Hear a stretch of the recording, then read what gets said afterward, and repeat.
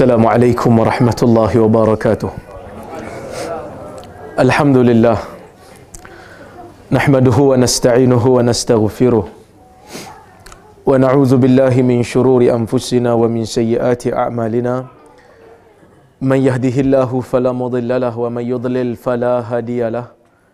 أشهد أن لا إله إلا الله وحده لا شريك له. وأشهد أن محمدا عبده ورسوله.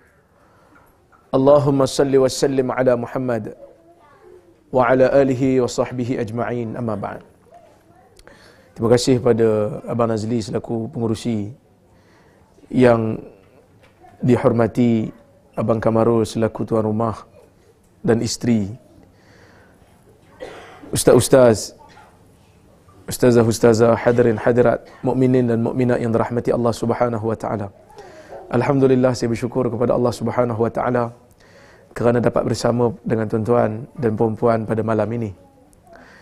Pada mulanya selepas daripada saya berkuliah pada bulan Ramadan di IQS Batu Cave Selangor saya didatangi oleh beberapa sahabat-sahabat daripada Dubai yang menjemput saya untuk ke Dubai. Sebenarnya jemputan tu dah lama daripada tahun lepas lagi. Tapi saya terpaksa untuk tangguhkan kerana saya komitmen dengan universiti, dengan penyelidikan dan juga kekangan masa jadual saya pun padat juga sikit. Kebetulan saya pergi umrah dan saya bagi tahu pada sahabat pada Abang Nazli kata saya nak pergi umrah. Jadi kalau boleh untuk dikosongkan masa uh, saya akan singgah dan jimatlah sikit kos. Tak payah bayar tiket pergi balik, bayar balik je lah. Sebab saya bukanlah orang kaya kan. Baik. Kita nak berbicara hari ini berkenaan dengan talfiq madhab. Ataupun dalam bahasa Arabnya dia tak sebut talfiq madhab, disebut talfiqul madhahib.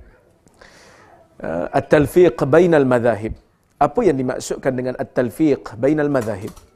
Yang dimaksudkan dengan at-talfiq bainal madhahib ialah mencampur adukkan madhab yang pelbagai dalam amalan kita sehari-hari. Kita di Malaysia kebanyakan masyarakat kita terdedah dengan fiqh asy-Syafi'i. Kita terdedah dengan mazhab asy-Syafi'i. Kita tak pernah dengar mazhab yang lain. Maka bila munculnya ilmuan-ilmuan yang kerajaan sendiri hantar untuk belajar mendalami ilmu yang lebih mendalam dalam master dan PhD, maka bila mana mereka balik mereka mengajar masyarakat atas ilmu yang mereka dapat ketika mana mereka mengkaji dan menganalisa. Ini biasa. Kerana dalam dunia akademik, perubahan pandangan itu biasa. Doktor, engineer, ada teori-teori yang yang berubah. Kan? Yang sebelum ini dianggap sebagai satu teori yang betul, satu teori yang benar, tiba-tiba lima tahun kemudian teori itu disanggah. Tapi oleh kerana benda itu tidak berkaitan dengan agama, maka orang rasa benda itu tak apa. Jadi bila mana ilmuan-ilmuan ini balik dan mengajar masyarakat kerana memegang kepada pesanan orang-orang tua sebelum dia pergi. Belajar tu, masa dekat KLIA tu orang dah pesan kat dia. Pergi belajar, cari ilmu banyak-banyak, balik ajar masyarakat. Dia pegang pesanan tu, maka bila dia balik, dia mengajar masyarakat, orang jadi penin. Bukan orang jadi penin. Ustaz yang di Malaysia penin. Pasal apa ustaz di Malaysia penin? Sebab pandangan itu pandangan yang baru. Pandangan yang ustaz tu tak pernah dengar. Maka muncullah istilah-istilah yang tak pernah masyarakat dengar. Iaitu talfiq mazhab. Iaitu mencampur adukkan mazhab dalam kehidupan. Tuan-tuan yang dirahmati Allah subhanahu wa ta'ala. Sebelum saya nak jawab soalan tu. Saya nak bagi tahu dulu tuan-tuan bagaimana imam-imam mazhab, bagaimana ulama-ulama sebelum kehadiran ilmuan ataupun imam-imam mazhab ini berinteraksi dengan perbezaan pandangan. Berbeza pandangan ini satu benda yang biasa berlaku. Selagi mana namanya fiqh, selagi mana namanya pemahaman, maka ruang untuk berbeza pendapat akan berlaku. Perbezaan pandangan pertama yang berlaku dalam sejarah Islam yang dapat direkodkan ialah apabila Nabi sallallahu alaihi wasallam mendapat tawanan perang Badar. Sebelum tu Allah Taala tak bagi kita perang, tak bagi orang Islam perang masa berada di Mekah. Bahkan Nabi sebut pada sahabat, "Kufu aidiyakum." Simpan tangan kamu. Jangan lawan. Kemudian bila Nabi sampai ke Madinah, Allah Ta'ala izinkan untuk berperang kerana orang Islam dah ada kuasa, dah ada sultah, dah ada dah ada kuasa, dah ada kerajaan, dah ada daulah, dah ada dar. Maka peperangan itu ditakdirkan menang belah Islam. Dapatlah tawanan perang. Bila dapat tawanan perang tuan-tuan, Nabi pun tak tahu nak buat macam mana dengan tawanan ni. Kita nak buat macam mana dengan tawanan ni? Wahyu tak turun. Maka Nabi pun tanya para sahabat. Kita nak buat macam mana? Abu Bakar kata kita minta dia ni al-manna wal fida. Al-man wal fida. Kita bagi dia kita suruh dia ajar anak orang Islam membaca dan menulis. 10 orang paling kurang sampai pandai maka dia dapat man. Dia dapat anugerah. Ataupun kita jadikan dia fida. Fida ni maksudnya mana-mana orang Islam yang ditawan di Mekah tukar kita lepaskan dia sebagai tawanan kita dan orang kafir juga melepaskan tawanan orang Islam yang ditawan di sana. Ini idea Abu Bakar. Idea Umar, dia kata, Ya Rasulullah, idrib, da'ni adrib unuqahum. Ya Rasulullah, biarkan aku untuk pancung kepala mereka ni. Kerana Umar tahu, dia orang ni semuanya kepala kufur hangit. Dulu masa kat Mekah, dia orang ni lah yang lanyak orang Islam. Dia orang ni adalah cari pasal dengan orang Islam. Maka perbezaan pandangan berlaku di hadapan Rasulullah sallallahu alaihi wasallam. Abu Bakar punya idea lain, Umar punya idea lain. Dan isu ni isu agama kerana isu ni adalah isu bagaimana kita nak berinteraksi dengan tawanan perang yang yang yang yang kafir. Tapi Nabi tak pernah kata, ni apa ni beza pendapat? Satu pendapat cukuplah. Nabi tak pernah kata. Tapi Nabi pilih pandangan Abu Bakar. Nabi pilih pandangan Abu Bakar sehingga turunnya wahyu. Maka nali nabiyin ayyakuna lahu asra hatta yusqina fil ard. Tidak pantas, tidak patut bagi seorang nabi ada tawanan yang dibebaskan selagi mana dia tidak kukuh di atas muka bumi. Kita masuk kepada zaman Umar bin Abdul Aziz. Umar bin Abdul Aziz sebenarnya zaman sahabat pun ada nanti saya hurai kemudian. Macam mana sahabat berbeza pandangan nanti saya hurai kemudian. Tapi bila masuk zaman tabi'in, zaman Umar bin Abdul Aziz yang jadi yang dikatakan sebagai khalifah Rashid yang kelima. Apa dia kata? Dia kata ana la uhibbu an la yakhtalifa ashabun nabi sallallahu alaihi wasallam fa innahum a'immatun yuqtada bihim law lam yakhtalifu lakanatil ummah fi dhiq dia kata kata Umar aku ni tak suka kalau sahabat nabi tak beza pendapat dia kata aku suka kalau dia orang beza pendapat kerana mereka ini sahabat-sahabat nabi ni imam-imam yang ada pengikut kalau mereka tidak berbeza pendapat sudah tentu umat berada dalam kesempitan Masuk umat tak ada pilihan nak pilih pendapat yang mana. Kena pilih satu tu je. Kerana itulah pandangan Islam. Tapi bila mana sahabat berbeza pendapat. Umar kata aku suka. Umar bin Abdul Aziz dia kata aku suka. Kerana bila ada perbezaan pendapat maka kita ada ruang untuk memilih pandangan yang terbaik dan yang paling sesuai. Masuk zaman Imam Abu Hanifah. Imam mazhab Hanafi. Kira mazhab yang ada dalam dunia hari ini, mazhab empat yang paling tua, mazhab Hanafi.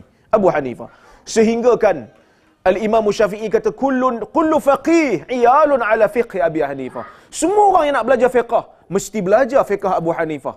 Seolah-olah macam dia tu anak ternakan daripada fiqh Abu Hanifah, mesti belajar fiqh Abu Hanifah. Abu Hanifah masa dia mengajar anak murid dia.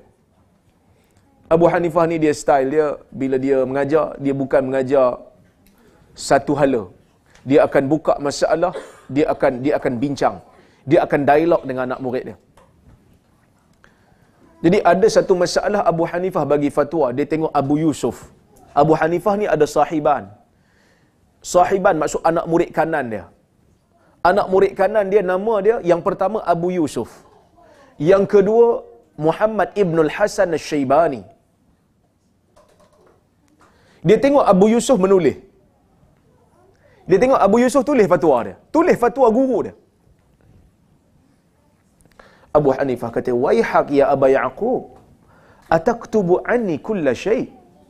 Malang sungguh kamu wahai Abu Yaqub. Kau tulis semua benda yang aku sebut malam ni. Dia kata mungkin aku sebut malam ni satu pandangan aku. Esok aku ubah pandangan. Kamu kena ingat yang tu. Bukan dia halang untuk menulis. Kena ingat. Dalam minda, apa yang kau tulis ni bukan final. Mungkin lepas ni aku ubah. Bila masuk zaman sahabat dia, seperguruan dengan dia, Muhammad Ibn Al-Hasan Al-Syaibani, anak murid Abu Hanifah, antara anak murid yang paling kanan Abu Hanifah, dia mengajar Al-Imam Syafi'i. Dia mengajar Al-Imam Syafi'i. Masuk zaman Imam Malik. Rahimahullah. Yang digelar sebagai Imam Daril Hijrah. Imam Negeri Hijrah. Hebatnya Imam Malik ni. Orang zaman dulu.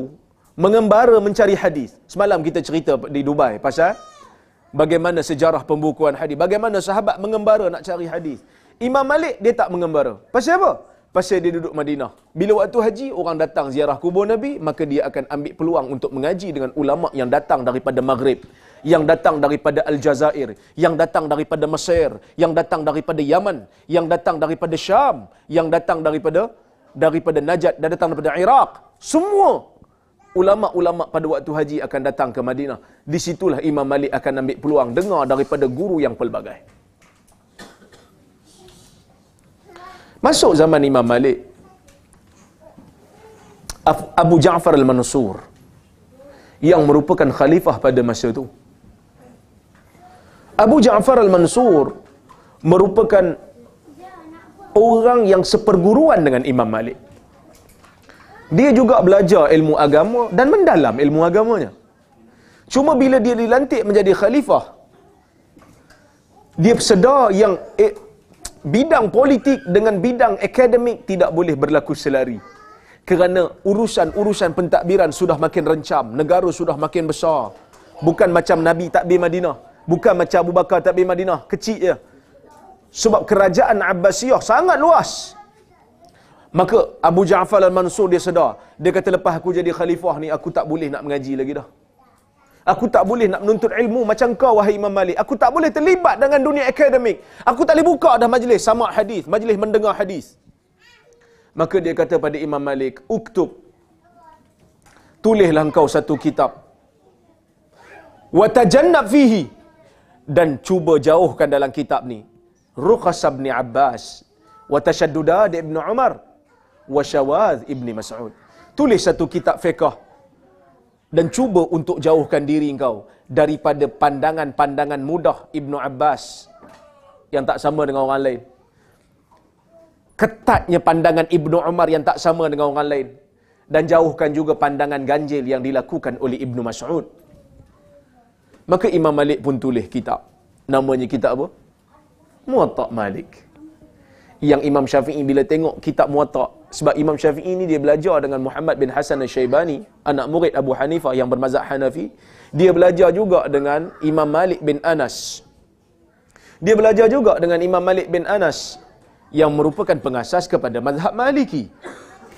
Imam Syafi'i bila tengok kitab Muwatta dia kata, "Ma wajadtu tahta adimis sama kitaban asah min Muwatta Malik." Aku tidak pernah jumpa satu kitab di bawah lembayung langit ini kitab yang lebih sahih berbanding Muwatta Malik. Orang orang bincanglah kenapa Imam Bukhari tak sebut uh, sorry Imam Imam Syafi'i tak sebut Sahih Bukhari. Rupanya Imam Syafi'i masih di zaman di hidup Sahih Bukhari belum belum ditulis. Maka zaman tu itulah kitab yang paling yang paling sahih yang dia pernah jumpa. Bila Imam Malik menulis kitab Muwatta Abu Ja'far Al-Mansur sangat gembira. Dia kata inilah inilah kitab hadis yang agung yang mengumpulkan hadis-hadis yang sahih. Ini Muwatta Malik ni semua hadis dalam tu sahih kecuali empat hadis je. Semua hadis dalam Muwatta' Malik semua sahih kecuali empat hadis. Apa empat hadis tu? Tuan-tuan kena cari YouTube saya. Sekarang kita nak bincang fiqh bukan nak bincang hadis, kan? Jadi Abu Ja'far Al-Mansur, dia kata, bagus kitab ni. Apa kata aku jadikan kitab ini sebagai rujukan utama selepas Al-Quran? Aku nak gantungkan kitab engkau ni di Kaabah. Betul-betul aku gantung kitab engkau di Kaabah sebagai isyarat kepada orang yang datang waktu haji dan umrah. Mereka ada kitab rujukan yang kedua iaitu Muwatta' Malik selepas daripada Al-Quran. Tuan-tuan, agak-agak kalau tuan-tuan tulis kitab, orang nak gantung kat Kaabah, tuan-tuan suka? Ha? Sukalah. Guling-guling lah kan? Imam Malik tak mau. Dia kata jangan. Jangan wahai Amirul Mukminin. Kerana setiap tempat itu ada ulama'nya. Dan setiap tempat itu ada pandangan ada pandangan-pandangan mazhab mereka. Kalau kita paksa mereka untuk mengikut satu mazhab, ra'au zalika kufran, mereka menganggap benda ini sebagai satu kekufuran yang tak pernah dilakukan oleh mana-mana imam sebelum ni. Saya boleh kata tuan-tuan, tidak ada satu tidak ada satu negara Islam, satu khilafah Islam pun yang memaksa orang mengikut satu mazhab saja. Tak pernah ada melainkan dia dibuat oleh Mu'tazilah zaman Khalifah Ma'mun, zaman Khalifah Al-Wathiq, zaman Khalifah Mutawakkil. Tak pernah ada mana-mana khilafah Islam yang memaksa rakyat untuk ikut satu mazhab. Tak pernah ada. Ya, kita akui mazhab rasmi negara ada. Mazhab rasmi negara ada. Macam Uthmaniyah, dia ada mazhab Hanafi sebagai mazhab rasmi. Tapi dia tak pernah paksa orang Syafi'i untuk ikut dia. Kerana semua itu atas pilihan masing-masing. Dan ulama Islam yang datang lepas daripada mazhab yang empat. Mereka bersepakat mengatakan empat-empat mazhab fiqah ini. Kesemuanya berada di atas kebenaran secara mutlak. Walaupun kalau kita pergi kepada detail ada yang salah. Tapi secara mutlak, secara rambang, keempat-empat berada di atas kebenaran.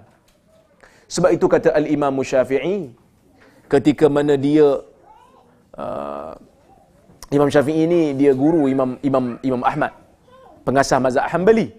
So kita tengok empat-empat ni semua ada, ada link antara satu sama lain. Imam Ahmad, guru anak murid kepada Al-Imam Syafi'i, dalam masa yang sama Imam Ahmad juga guru kepada Imam Syafi'i. Imam Imam Syafi'i kata, "Kharajtu min Baghdad wa ma khallaftu fiha ahadan arwa aura, sorry, wala azhad min Ahmad bin Hanbal." Aku keluar daripada Baghdad, aku pergi ke Mesir. Aku tidak tinggalkan di Baghdad ini orang yang lebih warak dan lebih zuhud daripada Imam Ahmad bin Hanbal.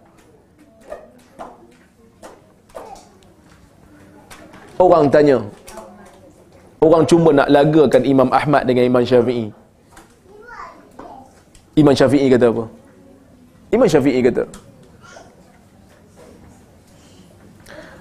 dia, dia, dia ada sebut satu syair tapi saya lupa syair tu lama dah baca benda ni. Dia kata, Zarani Ahmad wa zurtuhu. Aku, Ahmad, Imam Ahmad kadang-kadang menziarahi aku. Dan kadang-kadang aku ziarahi dia lau zarani fa bi fadlihi walau walau zurtuhu fa li fadlihi kata Imam Syafi'i kalau dia datang ziarah aku di rumah aku dia datang membawa kelebihan dia tapi kalau aku yang ziarah dia aku tak ziarah orang melainkan kerana dia ada kelebihan yang tak ada pada orang lain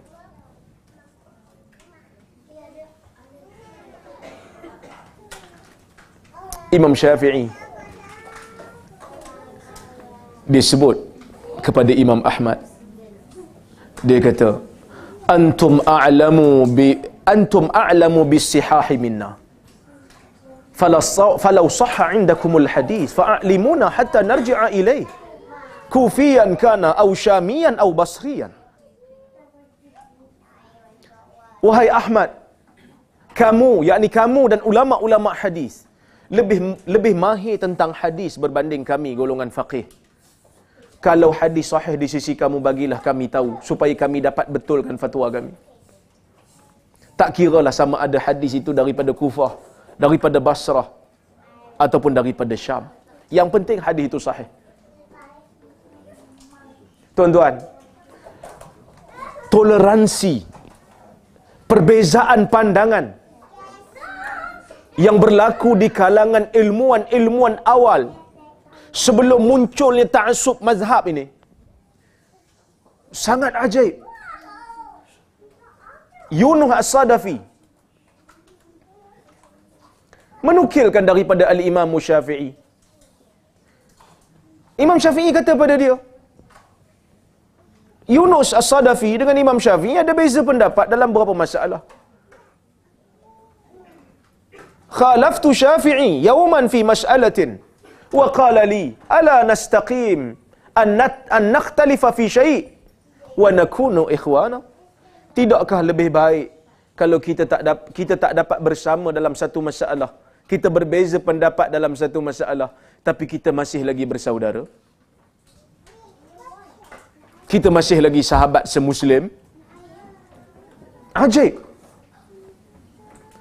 mereka dapat adab ini. Adab berbeza pendapat ni mereka dapat daripada sahabat Nabi sallallahu alaihi wasallam. Tuan-tuan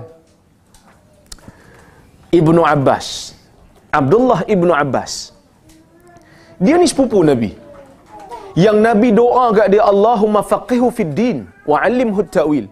Ya Allah berikan dia kefahaman dalam agama dan ajar dia tentang tafsir al-Quran. Sehingga dia digelar sebagai tarjumanul Quran. Pakar mentafsir al-Quran.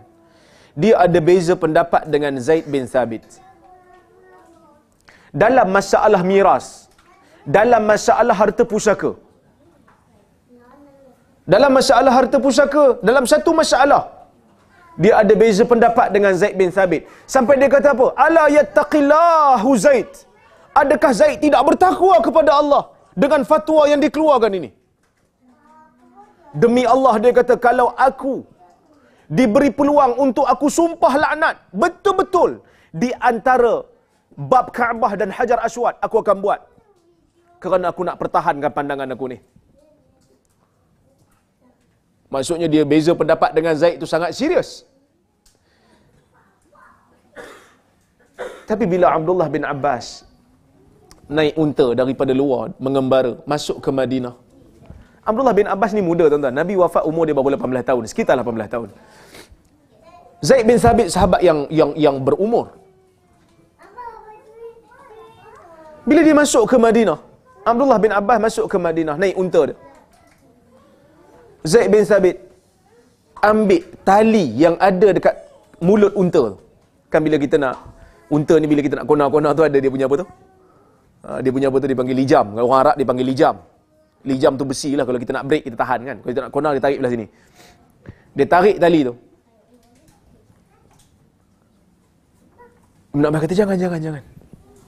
Janganlah buat macam ni. Kau tua lagi pada aku. Malu eh.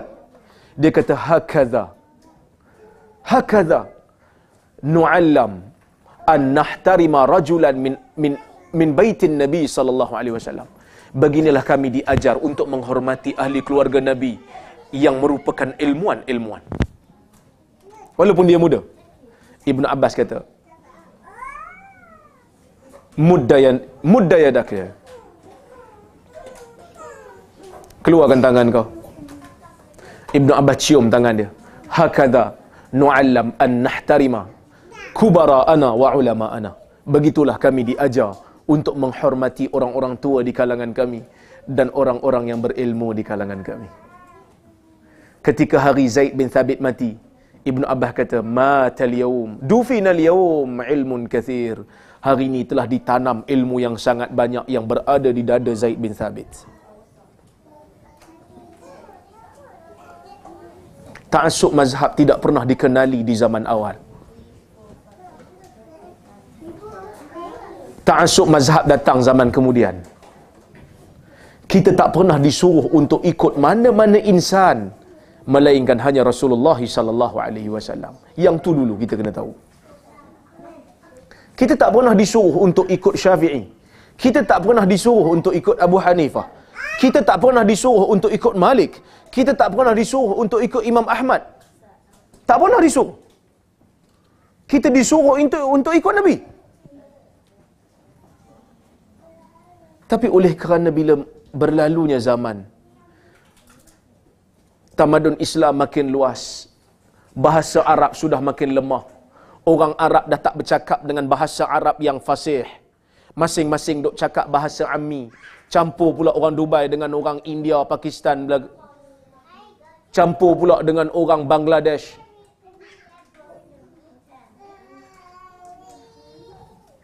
Maka bahasa Arab menjadi rojak. Campur pula dengan orang Parsi. Maka bahasa Arab jadi rojak. Orang dah tak boleh nak berbahasa Arab yang betul. Kaedah-kaedah agama tidak boleh difahami dengan betul. Maka munculnya fatwa-fatwa yang mengatakan kita kena ikut mazhab. Pasal apa? Kemampuan untuk ikut Nabi secara langsung dah tak ada. Nak istimbat hukum, nak rumuskan hukum daripada dalil, kemampuan itu sudah terhad. Tetapi fatwa untuk ikut mazhab ni, dia bukan suruh ta'asub. Kata Al-Imam Syafi'i rahimahullah, dia kata, aku tidak pernah majadaltu ahadan illa waqad tamannaitu ay illa tam, waqad tamannaitu ay yuzhirallahu al-haq ala lisani. Aku tidak pernah berdebat dengan mana-mana orang melainkan aku mengharapkan Allah akan zahirkan kebenaran di atas lidah dia.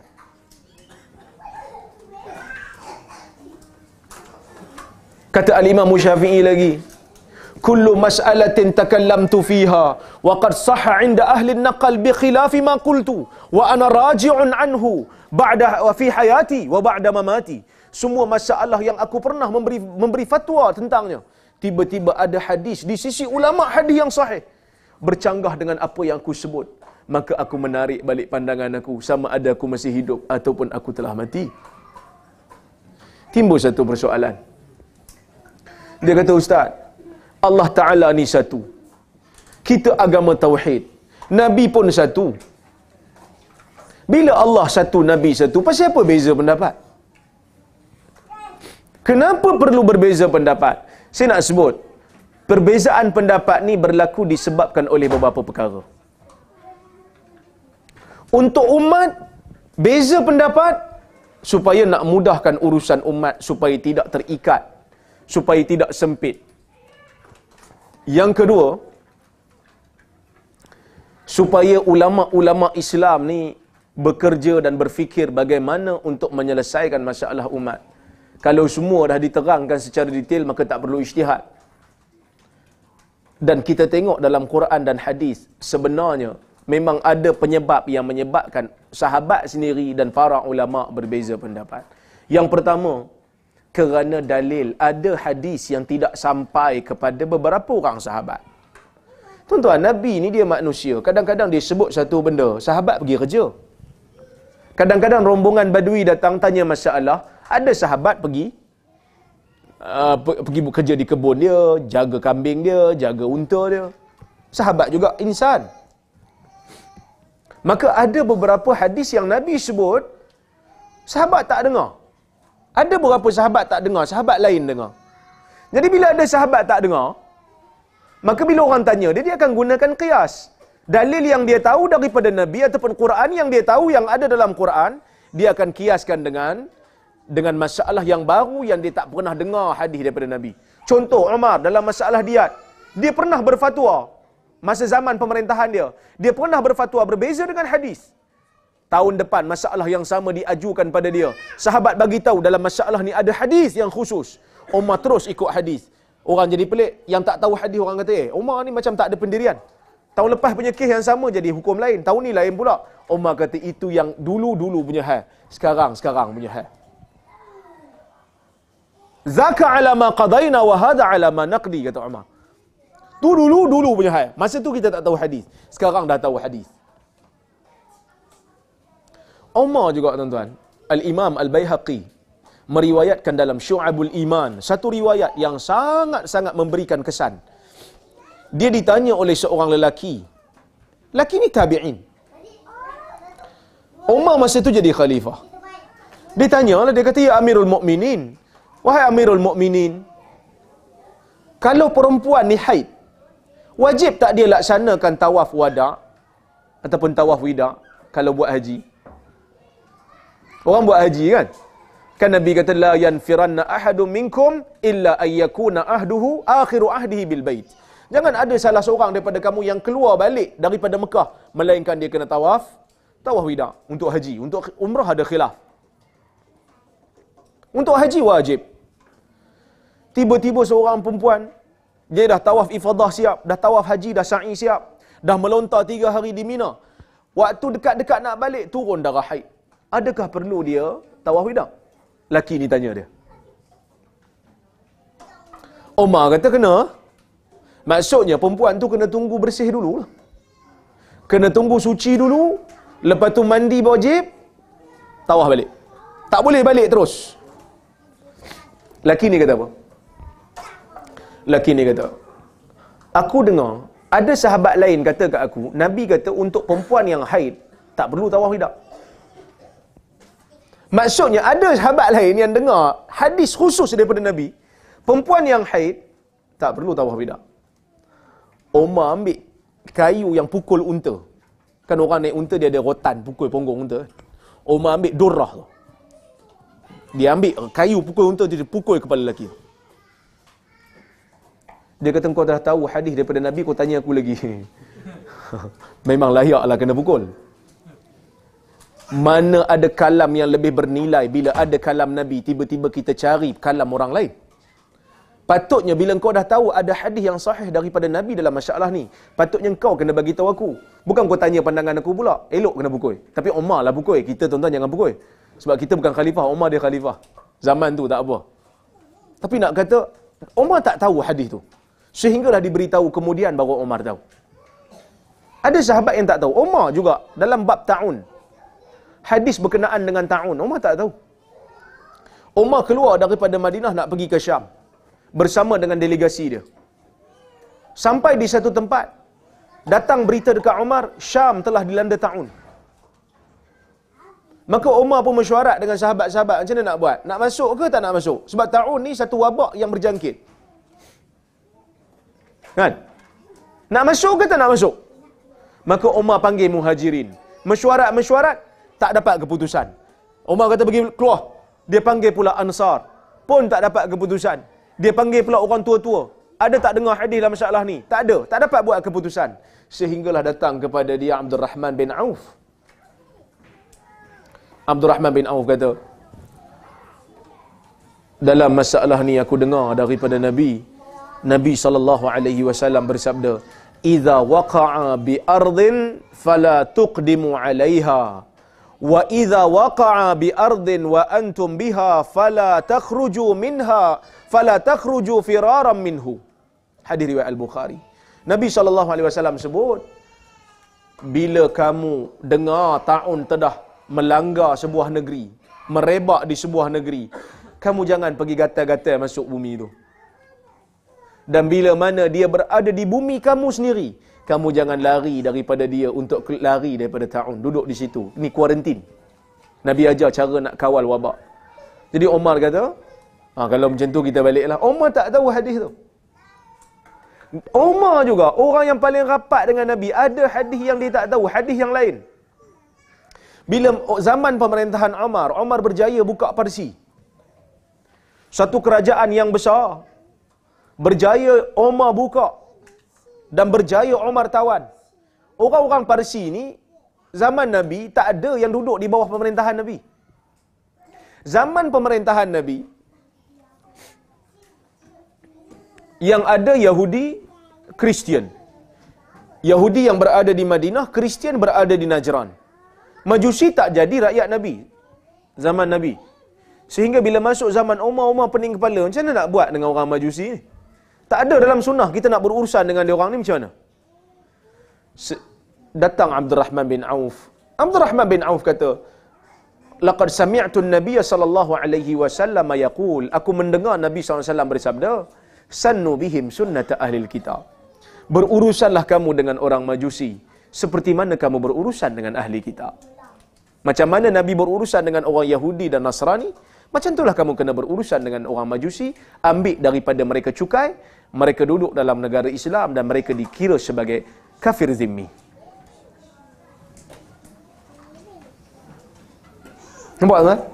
Ada hadis yang tak sampai. Kadang-kadang dalam Islam ni ada benda yang dianggap sebagai pembatal. Mula-mula Nabi sebut macam ni, kemudian Nabi batalkan. Ada sahabat yang tak tahu Nabi dah batalkan hukum tu. Maka berterusanlah sahabat ni mengajar anak murid dia benda yang telah dibatalkan. Contoh Abdullah ibnu Mas'ud sampai akhir hayat dia solat tatbiq. Mungkin ustaz-ustaz pun ada kat sini kan. Apa maksud tatbiq? Tatbiq ni bila rukuk tangan pegang belah dalam peha. Kita sekarang kalau rukuk pegang mana? Ha, letak atas lutut kan? Zaman dulu, awal-awal Islam, waktu orang Islam mula-mula salat, Nabi arahkan mereka letakkan tangan di kawasan dalam peha masa rukuk. So kalau rukuk tu dia macam ni ya. Kemudian Nabi batalkan, Nabi suruh letak di atas lutut. Abdullah bin Mas'ud tidak pernah mendengar benda tu. Dan dia kekal sampai akhir hayat dia solat macam tu. Dan anak murid dia pun duk amal benda tu lah. Maka kita tengoklah ada mazhab yang pelbagai. Dan kadang-kadang dalil ini bercanggah-canggah. Satu arahan daripada Nabi difahami. Tapi bila nak implement, jadi problem. Ini yang dikata al-khilaf fi tahdidi dilalatil alfaz. Khilaf di kalangan para ulama dalam nak menentukan makna perkataan itu. Contoh, saya bagi contoh. Benda ni selalu saya bagi. Tapi saya bagi jugalah untuk tuan-tuan yang mungkin baru dengar daripada saya. Kita suruh anak kita pergi ambil duit kita pergi kedai. Alung, angah mari jap. Ambil duit ni 20 dirham, pergi beli gula dan kopi. Dekat kedai Abu Amru, contohlah. Nak sebut Pak Mat tak ada Pak Mat ke sini. Jadi Alung ni ambil, Angah ni pun ambil. Sampai dekat kedai Abu Amru, dia tanya lah, Amu, gula ada tak? Gula tak ada. Oh, tak ada eh. Tak ada balik. Alung kata, balik. Angah kata, ai, tadi ayah suruh beli gula dan kopi. Tanyalah kopi. Tak, ayah sebut ayah sebut gula dulu. Selagi gula tak beli, jangan beli kopi.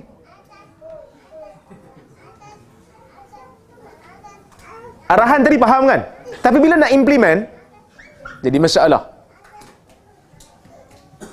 Okey, Angah kata tak apalah macam tu. Along menang lah. Kita tanyalah pergi kedai satu lagi tu. Abu Muaz pula. Ayah kata tadi Abu Amru. Ayah tak sebut Abu Muaz. Jom kita balik. Nama? Adik dia kata pula, tak. Ayah sebut Abu Amru tu sebab tu paling dekat. Bukan makna ayah nakkan sangat kita pergi kedai Abu Amru. Tapi yang tu yang biasa.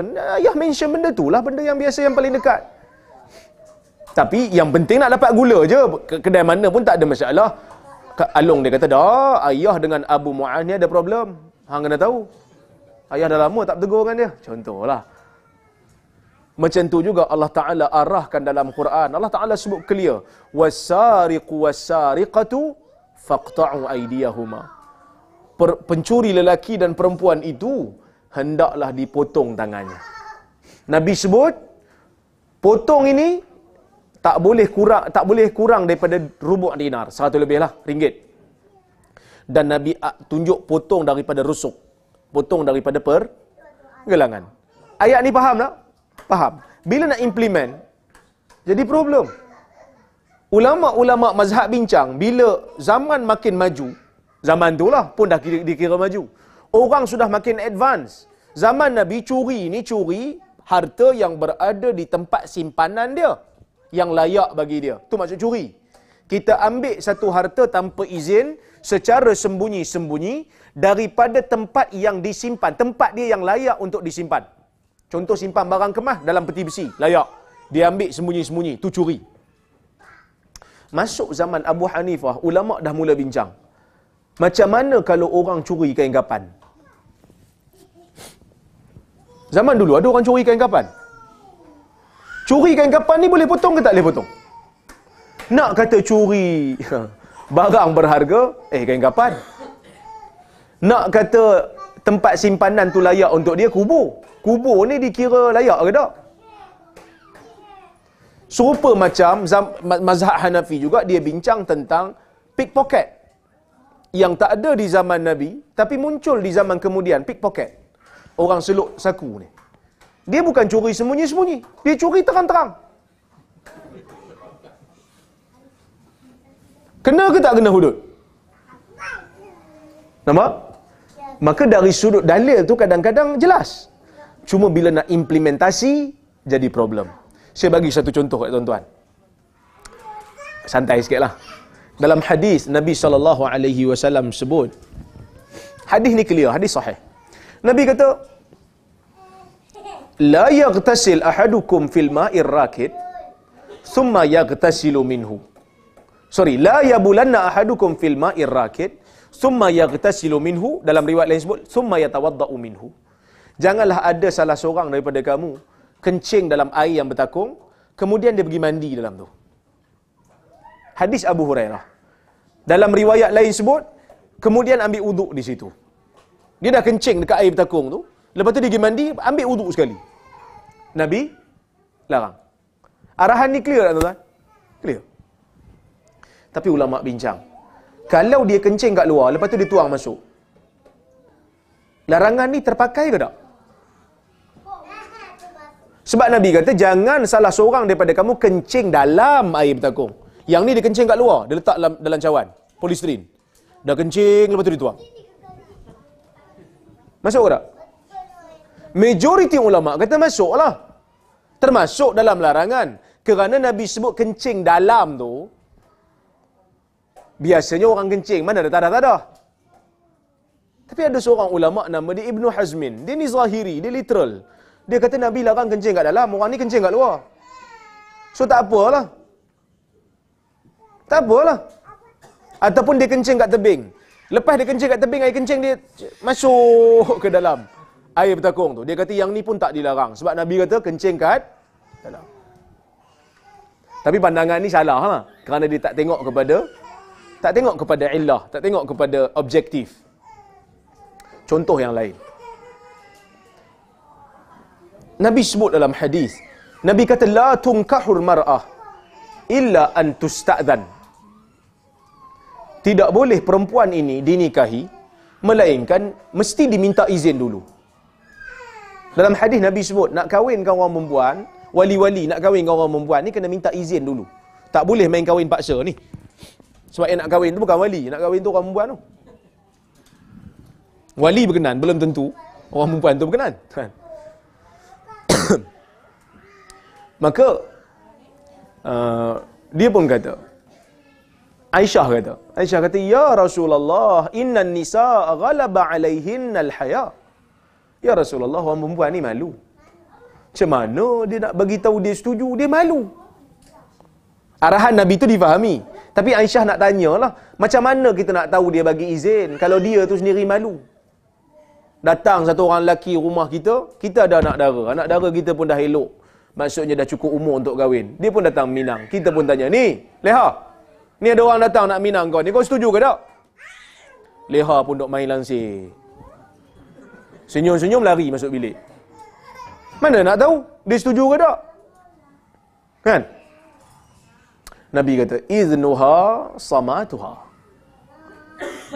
Dia beri izin bila dia diam. Nabi kata apa?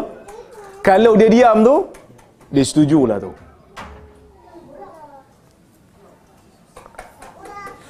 Difahami. Tapi ulama bincang, katalah zaman akan datang ni. Wali tanya kepada orang perempuan, "Ni kau setuju tak ni ada orang datang nak Minang ni. Setuju dia kata. Setuju sangat. Contoh. Jadi ke tak jadi?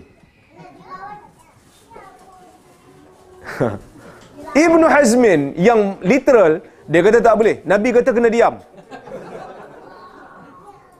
Hang pergi jawab, apa? Nabi suruh diam. Kita ulang balik. Majoriti kata tak lah. Maksud kalau dia diam tu setuju, dia sebut setuju tu lagi faham lah. Nampak tuan-tuan? perbezaan pandangan, perbezaan dalil telah menjadikan ulama berbeza pendapat. Dan kadang-kadang ulama berbeza pendapat disebabkan kekurangan maklumat di zaman dia berfatwa. Contoh, tuan-tuan baca fatwa tentang rokok di zaman awal-awal kerajaan Osmaniyah dulu. Masa mula-mula rokok keluar. Ada yang kata haram kerana tak ada faedah, kerana membazir. Ada yang kata makruh kerana berbau. Ada yang kata harus kerana ada manfaat. Zaman dulu. Tapi zaman sekarang, pakar perubatan kata mem- memudaratkan. Maka saya boleh kata ijma' ulama-ulama yang baru ni mengatakan ia tidak dibenarkan. Tapi ada seorang ustaz dia kata merokok ni boleh. Sampai orang yang merokok pun kata, saya pun terkejut ustaz kata merokok ni wajib. Saya merokok juga ustaz tapi tak teruk macam ustaz lah. saya tak pernah kata benda tu boleh dan wajib. Ada orang yang Allah Ta'ala uji dia dengan rukuk.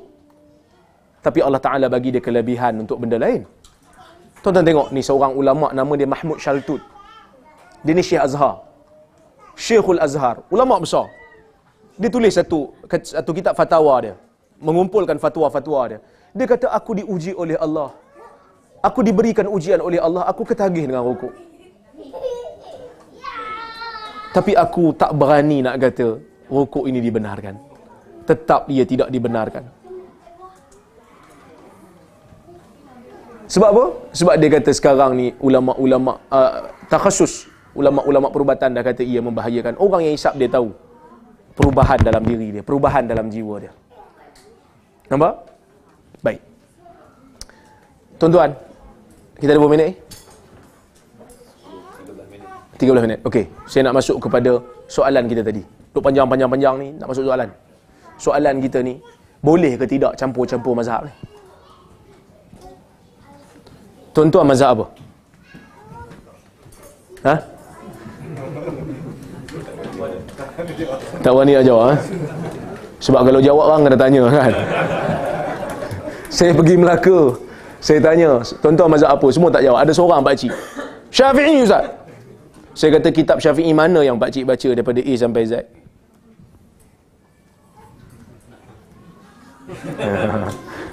tak tahu, tak ingat Ustaz. Tak ingat, bukan tak ingat, tak ada. Nak jadi mazhab Syafi'i mesti faham fatwa Imam Syafi'i. Mesti faham usul mazhab Syafi'i. Mesti telaah apa ni kaedah-kaedah mazhab Syafi'i. Mesti telaah kitab-kitab fiqh yang ditulis berdasarkan kepada mazhab Syafi'i. Agak-agak orang Melayu ni dia belajar kitab Syafi'i A sampai Z di mana? Tak ada pun. Tak ada. Sebab itu Ibn Qayyim dalam kitab dia A'lamul Muwaqqi'in, dia sebut, dia kata, mana ada orang awam ni bermazhab? Orang awam tak ada mazhab. Al-awam la mazhab lahu. Orang awam ni tak ada mazhab. Mazhab orang awam adalah mazhab mufti dia. Mazhab orang yang mengajar agama. Mufti ni bukan mufti rasmi ya. Sebab mufti rasmi ni pun zaman dulu tak ada. Mufti rasmi ni zaman Osmaniyah baru ada. Mazhab mufti maksud orang yang bagi fatwa kat dia. Dia ada masalah, dia bagi tanya ustaz dia. Itulah mazhab dia. Dia tak pernah tanya ustaz, mazhab apa ustaz ni? Dia nak tanya ustaz marah dah. Siapa banyak bertanya, maka lemahlah imannya. Orang awam tak ada mazhab. Orang awam hanya ikut ilmuan-ilmuan yang dia belajar dengan dia. Buktinya apa? Buktinya, saya nak bagi. Ada tujuh benda yang saya dapat fikir yang tuan-tuan buat memang confirm tuan-tuan bukan syafi'i yang pertama bila kita tempah jubah tempah baju Melayu nak raya kita bayar cengkeram kan kita bayar deposit kita tak bayar penuh kita bayar deposit mungkin ada yang tak buat tak pernah buat duit dia banyak dia bayar terus bagi habis ada yang kata sesak aku ni bayar dulu RM10 bayar dulu RM50 Benda ni biasa orang Melayu buat. Kan? Apa hukum dia? Menurut mazhab Syafi'i haram. Haram. Kerana kaedah mazhab Syafi'i dia kata tak boleh urus niaga jual beli yang dilakukan tidak memberi kesan. Paling tidak salah satu kesan kena ada.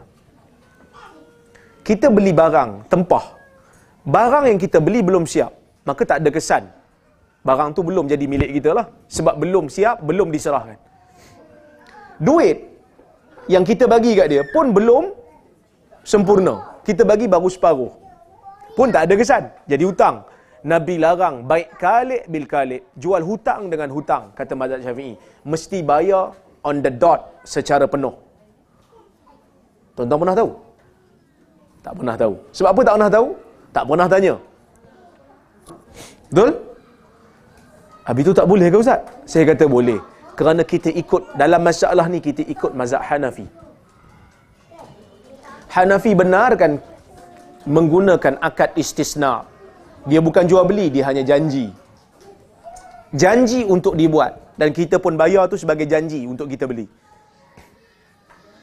Bila diserahkan baru, baru jual beli berlaku.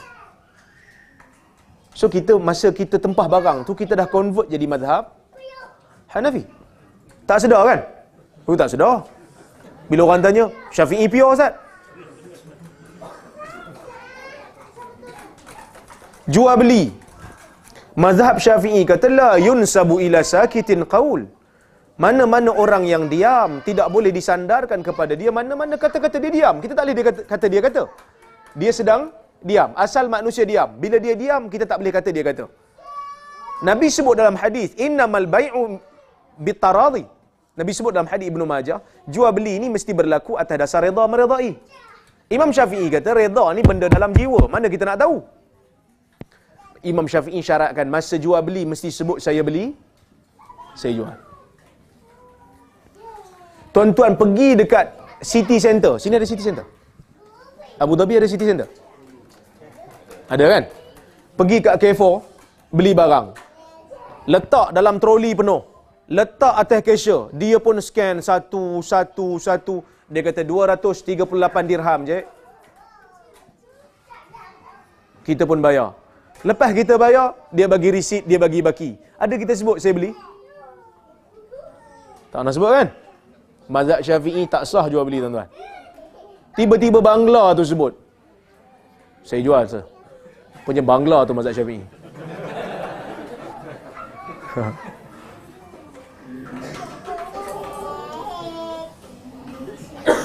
Dalam perbankan Islam, mana ustaz-ustaz ada yang kerja Islamic banking. Orang yang berurusan dengan bank Islam campur mazhab. Saya ambil satu contoh ya. Tuan-tuan, dalam perbankan Islam ni kalau tuan-tuan nak beli kereta ke dipanggil financing pembiayaan. Dia tak panggil loan dipanggil financing. Pasal apa dipanggil financing? Sebab bila kita nak beli kereta sebenarnya bank akan beli dulu kereta tu lepas tu dia sewa kat kita. Hire purchase so yang kita bawa kereta cantik tu sebenarnya sebelum habis hutang bukan kita punya bank punya kita sewa dekat bank baik sebelum bank nak beli kereta tu atas nama dia dia perlu secure kan kekuangan dia. Takut-takut nanti lepas dia beli orang tukar minda. Maksudnya tukar rancangan tak nak beli tak jadi. Sedangkan dia dah beli kereta tu. Maka bank dia buat satu agreement. Agreement yang kita sign. Agreement tu dipanggil agreement janji. Janji lepas bank beli kereta tu atas nama bank, kita janji akan sewa selama 9 tahun dengan bank. Janji ni dalam mazhab syafi'i wajib untuk ditunaikan tetapi tidak boleh kerajaan mengambil tindakan undang-undang kerana dia dosa pribadi. Mazhab Syafi'i.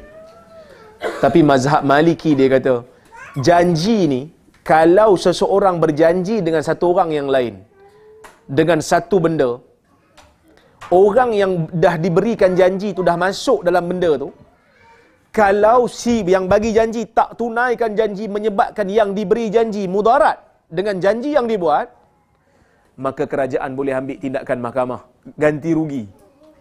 Maka bank dia ambil mazhab Maliki lah masalah ni. Kita pun sign agreement. Pernah tanya ni mazhab apa? Tak pernah tanya. Nombor empat. Tadi nombor tiga kan? Nombor empat Tuan-tuan Mungkin tuan-tuan ada di kalangan tuan-tuan yang ada rumah di Malaysia Saya tak tahu sistem jual beli kat sini macam mana Rumah Tapi kalau di Malaysia benda ni biasa berlaku Kita nak beli rumah, kita jalan dekat Giant Batu Cape ke, dekat Tesco Selayang ke, jalan-jalan-jalan dekat pasar raya besar ni, nampak ada orang tengah promosi rumah. Kan? Promosi rumah. Ataupun rumah yang lelong, kita nak beli. So kita contact agent, broker untuk jual rumah tu.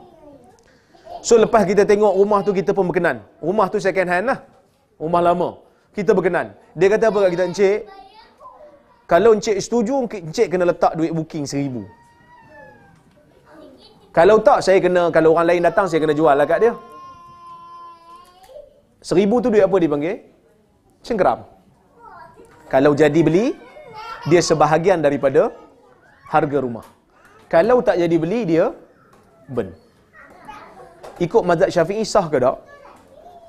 Tak sah. Yang ni dalam istilah fiqah dipanggil urbun. Urbun ni dalam mazhab syafi'i batil, dosa. Makan harta orang secara batil. Kenapa secara batil? Kita ambil itu atas dasar apa?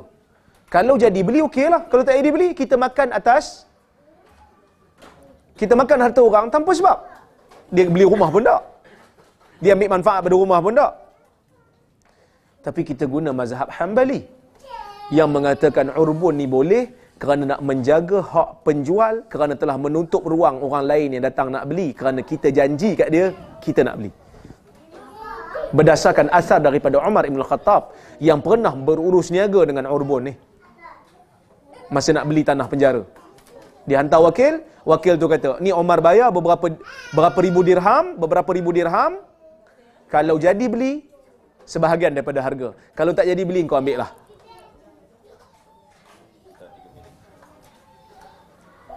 Okey? Baik. Yang ke berapa? Lima.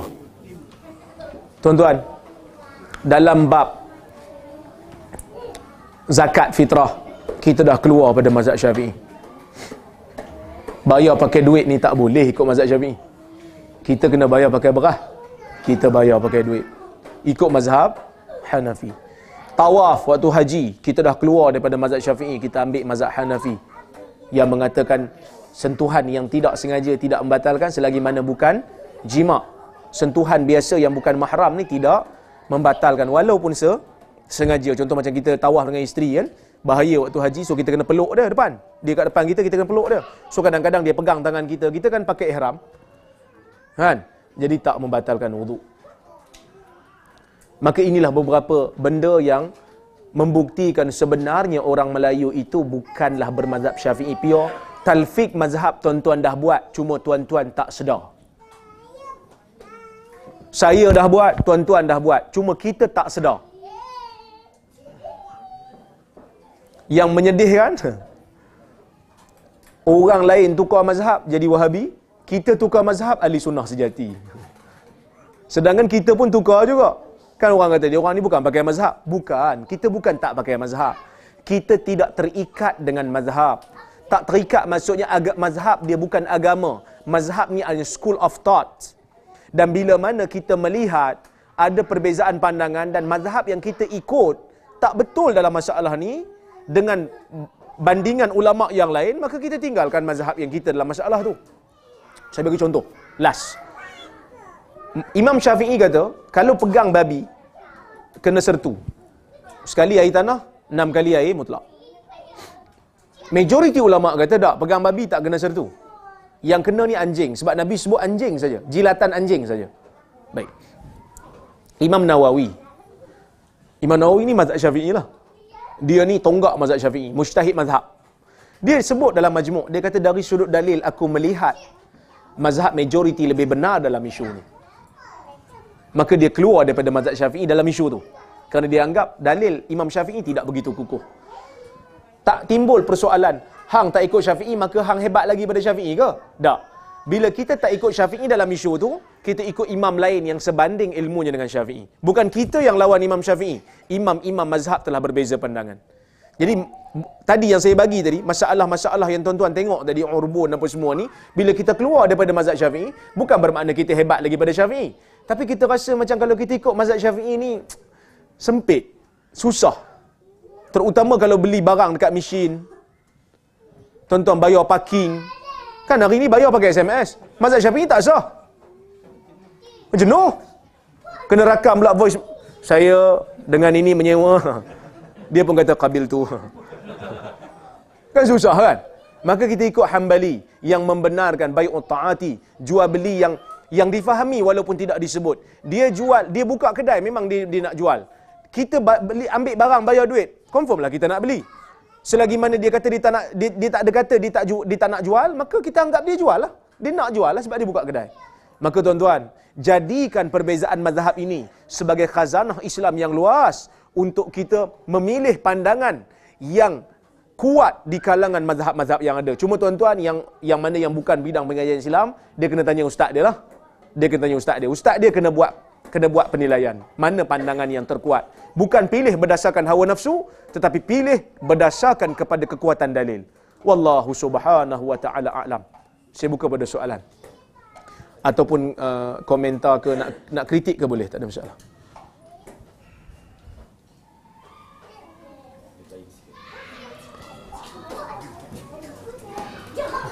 Boleh ke kita bertukar mazhab dalam masa tertentu?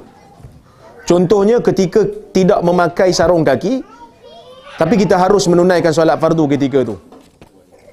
Untuk orang perempuan. Orang perempuan kan kaki dia aurat kan. So majoriti ulama kata orang perempuan kena tutup kaki. Kena tutup kaki. Jadi dia tak bawa sarung kaki. Tu dia kata tukar Hanafi. Hanafi kata oh, kaki tak aurat. Yang tu tak boleh dia bila kita dah pegang satu mazhab kita kata inilah yang betul kita kena pegang sampai bila-bila. Ya. Contoh kita belajar fiqah. Ustaz mengajar kita banyak mazhab. Ustaz sebut ni dalil ni pandangan ni mazhab ni Pan, uh, ini mazhab ni ni mazhab ni dalil di sudut ni ni ni. Lepas tu ustaz kata dalil ni semua daif kecuali satu mazhab yang betul iaitu hambali kita kena pegang. Yang tu sebab itu yang betul. Itu yang dipanggil ittiba' mengikut. Kalau dia kalau kita ikut satu benda kita tahu dalil namanya ittiba kalau ikut satu benda tak tahu dalil namanya taklid. Maka bila mana kita tak pakai sarung kaki dia sebenarnya wajib bukan pakai sarung kaki. Yang wajibnya tutup kaki. Zaman nabi orang perempuan tak pakai stokin. Orang perempuan labuhkan pakaian sejengkal lepas pada kaki. Dalam hadis Ummu Salamah Nabi kata hendaklah dia labuhkan kain dia sejengkal selepas daripada kaki. Panjanglah sehingga melirik ke tanah. Nabi kata kalau terkena najis pun tak apa kerana tanah yang berikutnya akan membersihkan najis yang terlekat di baju dia. Kecuali kalau kita nampak betul-betul ada tai anjing kat situ, kita basuhlah. Selagi mana tak nampak najis, boleh untuk dibawa solat. Jadi kalau dia pakai pakaian yang panjang menutup kaki dia, sebenarnya boleh solat. Walaupun dia tak pakai stokin. Yang penting menutup kaki. Tapi kalau dia kata saya saja je saya malas nak pakai stokin ni, tak boleh. Dia mesti berpegang dengan mazhab yang dia rasa benar. Dia tak boleh pegang mazhab yang salah pada dia. Benda tu salah. Bukan daripada Nabi, takkan kita nak pegang. Allah Allah.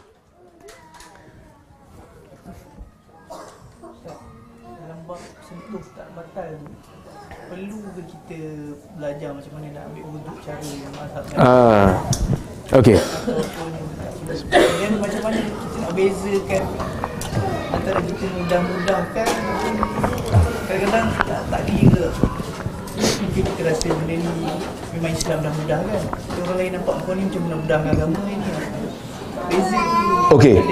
Pertama sekali talfik ni memang dah berlaku lah kita dah buat dah. Kalau saya kata tak boleh talfik tuan-tuan semua dah berdosa dah. Dan kita kata boleh lah. Kerana kita nak mencari pandangan yang tepat. Sekadar yang kita mampu. Yang tak boleh kita taklid lah. Baik. Cumanya, orang kata, uh, kalau kita tukar mazhab dalam isu tak batal wudu, kita nak ambil Hanafi. Wudu pun kena ikut Hanafi. Tuan-tuan, masih jual beli yang tuan-tuan bayar cengkeram tu. Jual beli tuan-tuan ikut Syafi'i ke Hanafi? Syarat jual beli, rukun jual beli. Syafi'i ke Hanafi? Pernah belajar istisna dalam masalah dalam mazhab Hanafi? Tak belajar pun. Wuduk dalam mazhab Hanafi ni macam mana? Sama aja. Cuma Hanafi kata tertib tak wajib. Boleh basuh kaki dulu. Lepas tu baru basuh muka. Kita basuh muka dulu, akhir sekali kaki. Kalau ikut Hanafi, wuduk kita sah ke tak? Sah. So tak timbul isu sebenarnya. Eh, kita nak ikut Hanafi ni kena kena belajar Hanafi A sampai Z. Yang ni sebahagian ustaz Malaysia cakap. Tapi masa kita ikut Syafi'i ada kita baca A sampai Z? Tak juga. Kenapa Syafi'i boleh? Hanafi tak boleh? Ha. Dia bukan macam Goris dah menang. Lahir-lahir Goris dahi. Syafi'i rupanya dia ni. Tak. Ikut kecenderungan dia lah kalau dia belajar dekat Saudi. Dia belajar dekat Madinah. So dia akan terkesan dengan Hanbali. Macam saya. Belajar dekat Jordan. Jordan ni dia Hanafi dengan Syafi'i. So dapatlah pendedahan sikit dua-dua tu. Kalau belajar kat Pakistan, confirm Hanafi. Sebahagiannya Hanbali. So, ikut kecenderungan. Kalau dia belajar kat pondok, dia Syafi'i lah. Tapi adakah benda tu salah? Tak salah lah. Dia ajarlah masyarakat berdasarkan ilmu yang dia ada. Kerana dia belajar yang tu. Bukankah kita kata ahli sunnah mengiktiraf empat mazhab? Kenapa tiba-tiba kat Malaysia, mesti dia ajar mazhab syafi'i sedangkan dia tak pakar dalam bidang dalam mazhab syafi'i? Dia kena ajar Hanbali lah. Siapa yang nak belajar dengan dia, silalah belajar dengan dia. Orang yang tak nak pada syafi'i, belajarlah dengan Ustaz Syafi'i. Tuan-tuan tengok macam dekat Abu Dhabi ni. Imam ada yang baca bismillah kuat, ada baca bismillah slow. Ada tuan-tuan tengok dia orang gaduh. Tak ada pun. Relax aja. Oh, dia tu Syafi'i. Kan? So, dia orang faham. Oh, bismillah slow ni Hanbali ya. Uh, Hanafi lah bismillah slow. Bukan bukan Hanbali dan Hanafi. Majoriti ulama bismillah slow. Syafi'i je bismillah kuat. Kita je yang bila beza pendapat sikit, eh masyarakat kita telah berpecah belah. Tak pecah pun. Cuma beza pendapat je. Uh, negara kita telah diserang oleh virus Wahabi. Bila masa virus Wahabi? Orang bawa Hambali bukan Wahabi. Tu saya kata, orang Mesir, budak-budak Malaysia, belajar STAM, CJ Tinggi Agama Malaysia, belajar mazhab syafi'i, pergi ke Mesir kunut. Kahirah, majoriti masjid tak kunut. Subuh. Jadi orang Melayu ni oleh kerana dia belajar fiqah syafi'i, dia kunut. So dia dia pun kunut dekat surau dia sebab Mesir ni dia ada rumah anak negeri duduk dengan Melayu. Ada surau dengan Melayu semua. Dia kunut. So kalau Arab tengok dia kata, hmm, Syafi'i. Kami tahulah dia Syafi'i sebab dia kunut. Orang Mesir, Arab Mesir tak pernah kata, kamu datang kemari telah memecah belahkan kami. Tapi orang Mesir yang datang ke Malaysia, bila orang tolak dia solat subuh, dia tak baca kunut. Terus kata apa? Wahabi. Sedangkan dia Hanafi. Hanafi tak kunut subuh. Nampak? Maka kita kena luas dalam masalah ni. Perbezaan pandangan ini adalah satu benda yang biasa di kalangan yang berlaku di kalangan para sahabat dan imam-imam mazhab. Kritik mengkritik benda biasa. Ustaz ni kritik pandangan ustaz lain, benda biasa. Ustaz tu pula kritik pandangan ni, benda biasa. Bukan gaduh, kritik. Kritik maksudnya berbeza pandangan. Saya tak setuju dengan pandangan dia dalam isu ni. Saya tak setuju dengan pandangan dia. Imam Syafi'i belajar dengan Imam Malik. Lepas belajar dengan Imam Malik, dia tulis kitab Al-Um. Dia tulis kitab Al-Um, dia kumpulkan fatwa-fatwa guru dia yang bercanggah dengan pandangan dia. Dan dia dia kritik pandangan guru dia. Dan Imam Malik tak pernah kata, engkau adalah murid yang derhaka kerana tak ikut mazhab Maliki. Patutnya Imam Syafi'i kena ikut Maliki lah. Sebab guru dia Maliki. Tapi Imam Syafi'i kata, mazhab Maliki bagi aku ada usul-usul yang tak kena dengan aku. Maka aku buka mazhab baru. Ya? Uh. Jadi kalau kita tuan-tuan keterbukaan tu kita ada kita tengok macam mana ulama dulu beza pendapat dalam keadaan yang beradab dan harmoni. Dunia ni sangat-sangat sangat-sangat luas untuk kita berbeza pendapat. Agama ini luas dalam masalah-masalah ijtihad. Ramai orang kata kat saya, "Ustaz janganlah bincang masalah khilafiyah." Ustaz ni suka bincang masalah khilafiyah. Tuan-tuan, kadang-kadang kita pun nak marah juga pada orang-orang ustaz-ustaz yang mengaji agama ni. Kadang-kadang kita sebut satu benda, kita pun tak fikir benda yang kita sebut tu. Tuan-tuan, masalah khilafiyah ni masalah apa? Ha? Masalah yang ulama beza pendapat. Tu masalah khilafiyah. Kalau masalah yang bukan khilafiyah, maksudnya masalah yang ijma'. Masalah yang ijma', tuan-tuan, perlu bincang. Solat lima waktu wajib. Apa pandangan Ustaz? Perlu bincang? Tu tak perlu bincang. Itu perlu implement aja. Ajak orang kempen nak buat forum. Marilah kita tahu bahawasanya solat apa uh, sorry, uh, puasa Ramadan adalah wajib. Itu tak payah orang tahu. Ma- tak payah bincang panjang-panjang pun orang kata ustaz ni gila ke apa? Bincang benda yang orang semua dah tahu. Tak ada bila kita tanya, apa hukum zina? Ustaz, pandangan ustaz tentang zina. Eh, zina haram secara ijma'. Tak ada tanya ustaz, ustaz apa hukum uh, zina? Zina sebenarnya sunat muakkad. Tak ada. Kalau ada ustaz tu nak buang terbiat tiga kali Jumaat meninggal lah dia. Jadi kalau benda ijma' benda yang ijma' tak perlu untuk dibincang. Bahkan benda yang ijma' ni sangat sikit. Jarir At-Tabari, pengarang kitab Tafsir At-Tabari, mengatakan perkara ijma' ni sangat sikit dalam hanya dalam perkara-perkara yang Quran dan Sunnah sebut secara clear saja. Benda yang tak clear berlaku perbezaan di kalangan para ulama. Contoh tuan-tuan, solat. Solat ijma', solat zuhur ijma' wajib kan? Wajib. Tapi tuan-tuan, masa kita rukuk solat zuhur, masa kita rukuk kita baca apa? Subhan rabbiyal azim. Masa kita baca subhan rabbiyal azim, wajib ke tak baca zikir? Wajib tak masa kita rukuk tu kita baca subhan rabbiyal azim? Ha? Khilaf di kalangan para ulama. Majoriti ulama kata sunat. Hambali kata wajib. Kita sujud, zikir dalam sujud. Hambali kata wajib. Majoriti kata sunnah. Kita duduk antara dua sujud, baca Rabbi ghafirli warhamni wajburni warfa'ni warzuqni wahdini wa'afini. Wa'fu anni tak dalam hadis. Yang tu tuan-tuan tambah. Imam Syaf, uh, Imam Ghazali yang sebut tapi tak dalam hadis dia sampai wa'afini saja. Baik. Uh, wajib pada mazhab Hambali. Siapa yang tinggal dengan sengaja wajib untuk dia sujud sahwi. Mazhab Syafi'i kalau tinggal sengaja tak apa, tak payah sujud sahwi. Mazhab Hambali siapa yang sujud rukuk tak baca zikir subhanallah subhan rabbiyal azim, subhan rabbiyal a'la, a'la dosa. Kalau tak buat sujud sahwi, saja tinggal-tinggal solat sah tapi dosa. Khilaf tak?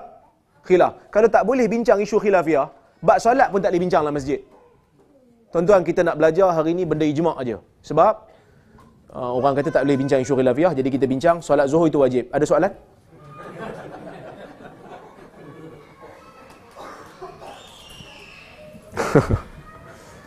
Baca doa iftitah wajib ke sunat? Khilaf di kalangan para ulama. So kita skip. Benda khilafiah tak boleh bincang.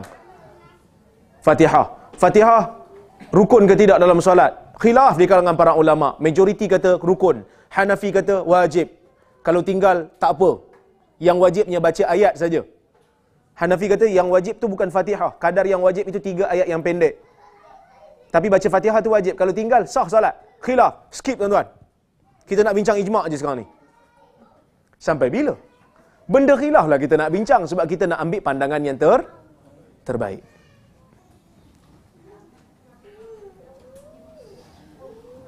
Kan? So bila kita tahu ada khilaf dalam masalah ni, dalam masalah ni pun ada khilaf, maka kita tengok Islam ni luas sebenarnya. Tak adalah bila kita tuan-tuan saya tahu tuan-tuan sebenarnya tak ada masalah pun duduk kat negara Arab ni macam-macam mazhab tuan-tuan tengok. Kan bila kita duduk kat luar negara ni dia kita dah tengok keluasan mazhab. Tak adalah bila tengok orang solat pakai seluar pendek. Ish, ish, ahli neraka dia ni. Tuan-tuan tengok orang Arab pakai seluar pendek solat. Dia ikut mazhab apa? Dia ikut mazhab Tabari dan uh, Bukhari. Dia pakai seluar pendek kan? Atas pada lutut. Kadang-kadang atas lagi pada lutut. Atas lagi sampai paha. Kita pun tengok. Wih, sesat ni. Kena mengadu dekat uh, dekat uh, pemerintah. Tak. Khilaf di kalangan para ulama. Adakah lutut lelaki, uh, paha lelaki aurat ataupun tidak? Ada khilaf. Paha lelaki ni aurat ke tidak? Khilaf. Syafi'i kata ya. Paha lelaki adalah aurat. Ni lelaki ya bukan perempuan. Esok semua datang pakai skirt susah pula. Ha. Paha perempuan aurat. Paha lelaki ni kita bincang. Mazhab Syafi'i kata ya paha aurat. Sebab ada hadis dalam riwayat Abu Daud. Nabi kata ma baina surrah wal rukbatan aurah. Di antara pusat dan lutut itu aurat. Sebenarnya lutut tu tak aurat. Tapi oleh kerana tak sempurna tutup paha, melainkan tutup lutut sekali, maka mazhab Syafi'i kata, tutuplah lutut, wajib tutup lutut, wajib tutup paha. Ha? Wajib tutup, sorry, tutup pusat, wajib tutup lutut. Hanafi kata tak. Atas pada lutut dan bawah sikit pada pada pusat. Hanafi. Maliki kata peha bukan aurat. Bukhari kata peha bukan aurat. Tabari kata peha bukan aurat. Pasal apa? Hadis yang mazhab Syafi'i guna tu daif. Hadis dalam Bukhari, Nabi pernah selak peha dia dan Anas tengok putih peha dia. Mazhab Syafi'i kata tak. Yang Nabi tu, yang kata dia sing- singkap tu bukan dia singkap, tersingkap. Tak sengaja, lepas tu Nabi tutup. Mazhab Bukhari dan juga Tabari kata tak. Kalau Nabi tersingkap pun, itu menunjukkan tetap tak aurat. Sebab Abu Musa kata, sorry bukan Abu Musa. Kau tak silap saya Jabir. Jabir pernah cerita, Jabir kau tak silap. Kau tak silap saya lah, seorang sahabat dia kata, masa Nabi angkat batu nak buat Kaabah kali masa sebelum hijrah, sebelum dilantik jadi Nabi, dia angkat-angkat batu, dia pernah terjatuh, jatuh tertongging. Orang dulu pakai kain. Jadi bila jatuh tertongging, seluar dalam tak pakai, so dia ternampak aurat. Nabi cepat-cepat tutup. Jabir kata, itulah last aurat Nabi dilihat oleh manusia. Sebelum, lepas pada tu tak pernah lagi tersingkap. Maksudnya kalau tersingkap pun, peha tersingkap, tak sengaja, menunjukkan apa? Itu bukan aurat. Sebab Jabir kata, lepas pada tu aurat Nabi tidak pernah tersingkap, walaupun tak sengaja. Maka khilaf kan? Kalau tuan-tuan tanya saya, saya kata, dari sudut dalil, kuatlah mazhab Bukhari. Dan mazhab Maliki dalam masalah ni. Peha bukan aurat. Tapi, kita kenalah rasa ruang juga. Kenalah rasa suasana juga. Kena sedar diri juga. Walaupun kita pegang mazhab tu mazhab yang benar, tapi kalau kita buat benda tu, kita buka peha kita, menyebabkan orang pandang serong pada kita, maka tak syar'i lagi untuk kita buat. Tuan-tuan, saya datang kuliah malam ni, saya pakai seluar pendek je. Pakai seluar dalam dia datang. Tuan-tuan pun tengok, ustaz mana dia panggil ni? Bukhari pun tak pernah pakai seluar dalam datang kelas kan. Bukan semua benda yang boleh itu kita boleh implement terus. Kena rasa suasana, rasa ruang. Tapi bila kita tengok satu orang beramal dengan satu benda yang ulama berbeza pendapat, maka kita berlapang dada. Kata Sufyan Ats-Tsauri, "Idza ra'aita rajulan ya'malu 'amalan mimma ikhtulifa fihi bainal ulama wa anta tara ghairahu fala tunkirhu." Bila kamu melihat satu orang lelaki beramal dengan amalan yang ulama berbeza pendapat tentangnya, wa anta tara ghairahu ataupun wa anta tara wa anta tara khilafa ma fa'al engkau melihat engkau pegang mazhab yang berbeza dengan apa yang dia buat maka engkau jangan bantah dia jangan kata engkau sesat. Jangan. Kerana ulama berbeza pendapat dalam isu ni. Masing-masing ada ruang untuk berbeza. Nampak? Ha jadi. Oh. Tanya lah sebab dari Malaysia kan. Tolong Ustaz terangkan dan jelaskan pasal pasal kunut subuh. Ha. Soalan daripada Malaysia. Tu orang Malaysia pun tengok. Eh, pukul berapa dah Malaysia ni? Satu pagi 12.45 kan? Dahsyat. Dia orang ni memang suka buat kontroversi ni kan? Baguslah soalan tu kan? Tuan-tuan kunut ni ulama berbeza pendapat. Pasal apa beza pendapat? Kerana ada satu hadis dalam riwayat Abu Daud yang yang mana Abu sorry saya lupa. Abu Ja'far Ar-Razi seorang perawi dia meriwayatkan daripada Anas bin Malik daripada jalur Anas bin Malik yang mengatakan Nabi sallallahu alaihi wasallam sentiasa berkunut sehingga dia meninggal dunia. Kana Nabi sallallahu alaihi wasallam la yazalu yaqnut hatta faraqad dunia. Nabi SAW sentiasa berkunut sehingga dia meninggalkan dunia. So mazhab Syafi'i ya- yaqnut fil fajar. Kunut pada waktu fajar, pada solat fajar sehingga dia meninggal dunia. Maka mazhab Syafi'i ambil dalil ni. Dia kata ini menunjukkan kunut uh, kunut subuh ni ada. Tapi dalil ni sebenarnya tidak sahih. Ni dalil yang paling kuat yang mazhab Syafi'i pegang. Ada dalil lain tapi ada yang palsu, ada yang terlalu daif. Tapi ni yang paling kuat yang ada pada mazhab Syafi'i.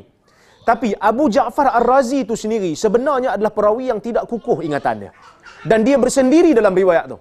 Sedangkan dia bukan anak murid kanan tok guru dia.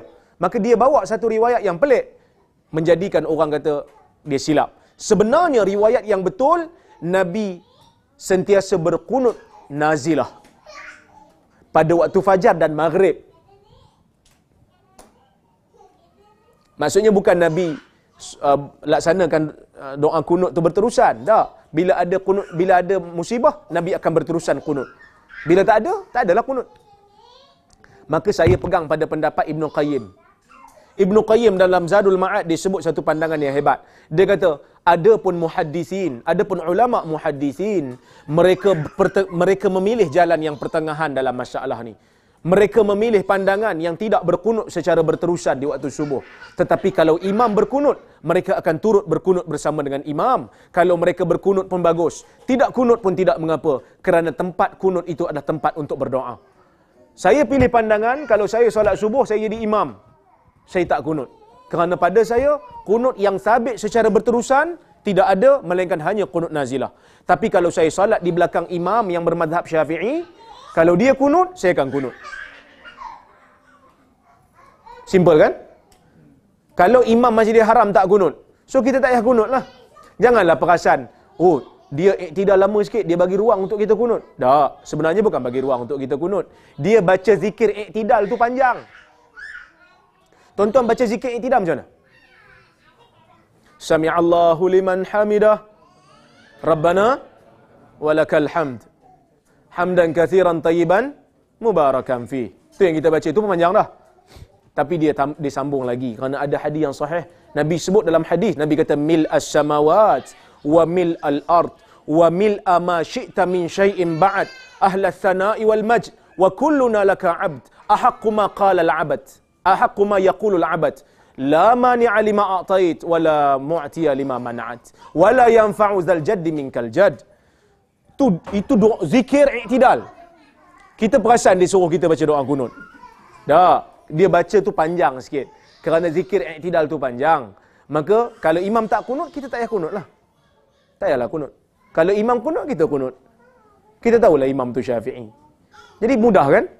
Tak payah nak gaduh-gaduh dunia ni hidup kita ni singkat daripada kita bergaduh baik kita faham kenapa dia buat macam tu. Tanyalah dia. Saya minta maaf lah saya tengok awak punya amalan ni beza sikit. Boleh saya tahu awak masak apa? Arab kan macam tu?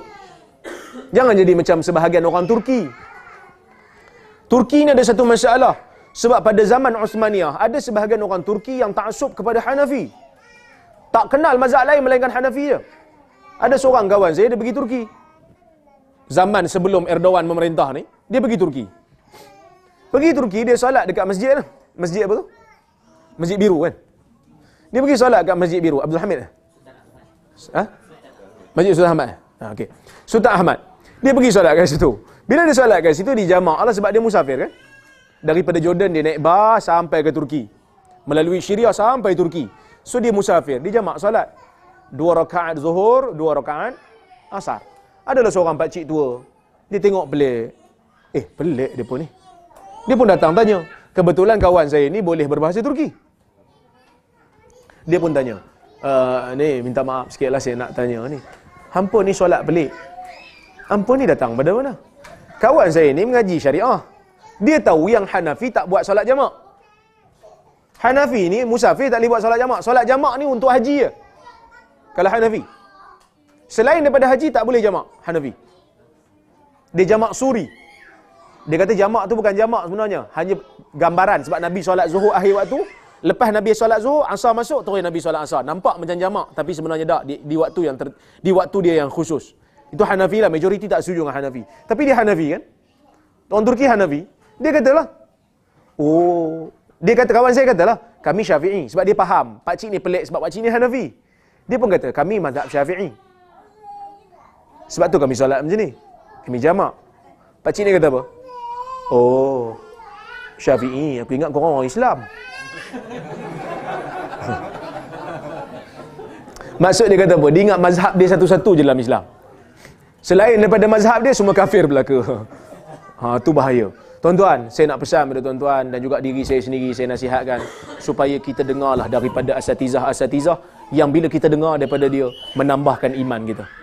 Bila kita dengar daripada dia, kita menambahkan penghormatan kepada keseluruhan ulama' bukan hanya pilih bulu ulama ni kita kena hormat ulama ni kena caci maki. Tak. Hidup ini terlalu singkat. Belajarlah keluasan Islam selagi mana kita mampu. Bukalah dada seluas-luasnya untuk menerima perbezaan selagi mana dalam ruang yang dibenarkan. Wallahu alam. Ada masa lagi? Ha, dah habis dah. Okey tuan-tuan Ada soalan lagi tak? Hadirin soalan tak? Okey. soalan uh, regarding bermusafir di hari Jumaat uh, pada waktu Zuhur di hari Jumaat Sa- sama macam hari lain ke dia ada special requirement untuk untuk untuk bermusafir tu hari Jumaat uh, bermusafir pada hari Jumaat ulama beza pendapat. Okey. Tapi oleh kerana di sini boleh bincang isu khilafiyah, kita bincanglah. uh, mazhab Syafi'i dia tak bagi untuk bermusafir pada hari Jumaat. Bila mana dah masuk subuh, tak boleh lagi musafir melainkan kena solat Jumaat. Uh, kalau dia musafir juga dia kena solat Jumaat. Kalau tak dia tak boleh, dia kena tunggu sampai solat Jumaat baru, baru habis. Tapi saya lebih setuju dengan pendapat mazhab yang lain kerana dia kata selagi mana zuhur tak masuk maka selagi itulah boleh untuk kita bermusafir. Kalau dah azan zuhur, maka kita wajib untuk solat Jumaat. Maksudnya kita tak boleh bermusafir melainkan kena solat Jumaat. Tapi kalau selagi zuhur tak masuk, kita boleh untuk bermusafir kerana Umar pernah sebut dalam uh, dalam riwayat Musa, uh, Abdul Razak dalam musannaf dia, Umar kata la yamna'anna yaumul yaumul jumu'ah uh, uh, minas safar. La yamna'annakum yaumul yaumul jumu'ah minas safar tidaklah hari Jumaat itu melarang kamu atau menghalang kamu daripada melakukan permusafiran. Jadi saya pilih pendapat yang kata selagi mana Zuhur tak masuk, azan Jumaat belum dilaungkan, maka kita boleh bermusafir. Dan kita menjadi musafir dan solat Jumaat tak wajib bagi kita. Kemudian tentang uh, aswaja Ya? Salah seorang? aswaja. Oh. Kombinasi itu sendiri. uh, mereka ni saya pun tak tahu sebenarnya apa yang mereka perjuangkan. Kalau perjuangkan ahli sunnah wal jamaah, sebenarnya ahli sunnah itu sendiri luas. Kalau yang mereka nak perjuangkan itu ahli sunnah wal jamaah, sebenarnya ahli sunnah wal jamaah itu luas. Ada yang asy'ari, ada yang maturidi dan ada yang hambali. Jadi Asy'ariyah juga ahli sunnah, Maturidi juga ahli sunnah, Hanabilah juga ahli sunnah. Hanabilah ni salafi lah. Sebenarnya dia orang ni pengikut mazhab Ahmad bin Hanbal. Jadi mereka ini adalah ahli sunnah. Tapi seolah-olah saya melihat Aswaja ni, mereka nak kata selain daripada pandangan yang mereka pilih itu bukan ahli sunnah. Contoh tuan-tuan, eh? ada satu masalah kadang-kadang mereka sebut. Kita ahli sunnah memilih untuk kata uh, apa ni tanam pokok di kubur adalah sunnah.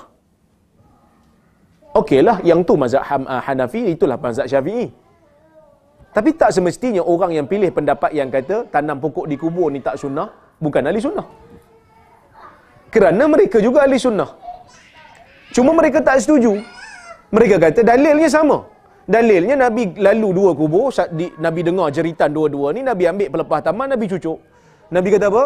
Innahuma la yukhaffafani minal azab malam yaibisa mereka berdua akan diringankan daripada azab selagi mana pelepah taman ni tak tak kering jadi mazhab Syafi'i dan Hanafi dan sebahagian ulama Hambali kata tak sebenarnya ah, sorry dia kata sebenarnya menunjukkan pokok tu berzikir jadi kita disunatkan untuk tanam pokok di kubur tu satu pandangan dalam ahlu sunnah ada pandangan yang lain dalam ahli sunnah yang mengatakan tak, sebenarnya bukan disunatkan tanam pokok, bukan pokok tu yang menjadi penyebab uh, orang yang dalam kubur tu diringankan azab, tapi Nabi punya tangan tu.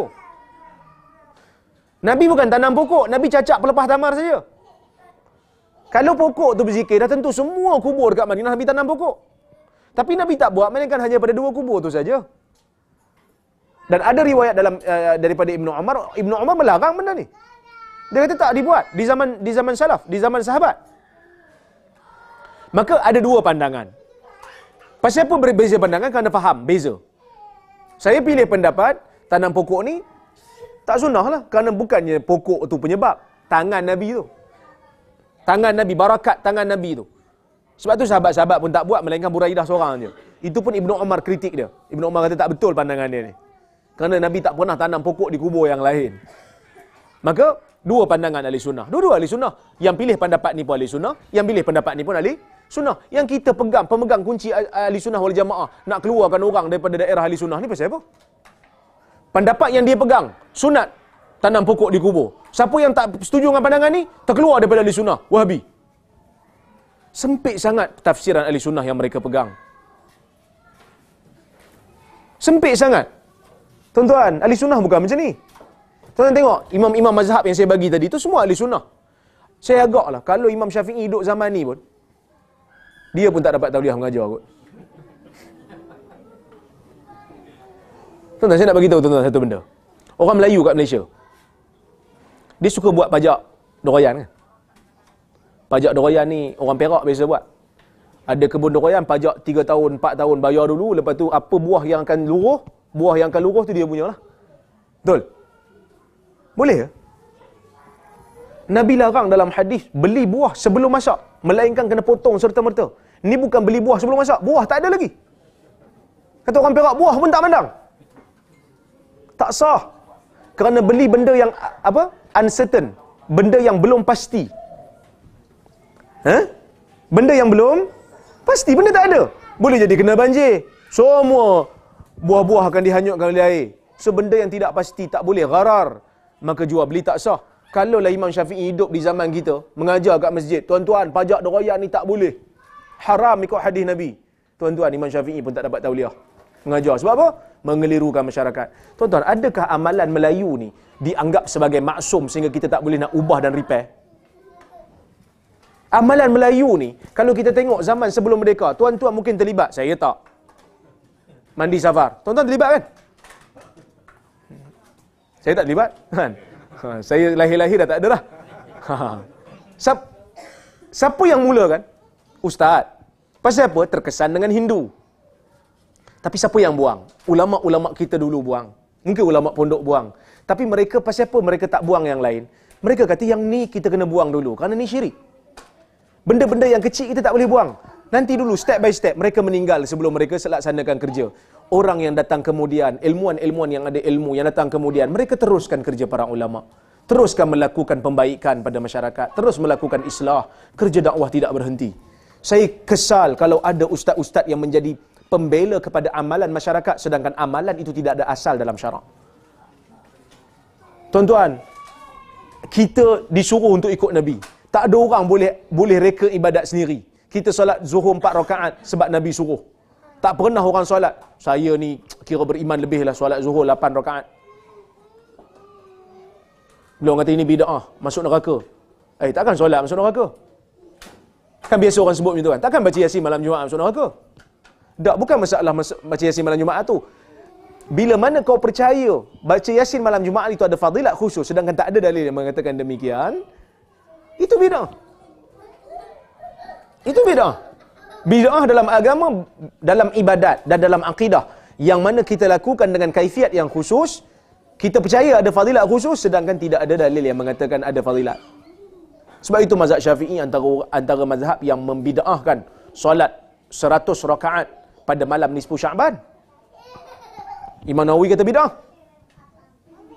Takkan solat masuk neraka. Imam Nawawi kata bid'ah mungkar dan buruk kerana mereka menambah sesuatu dalam agama sedangkan benda itu tidak diizinkan oleh syarak.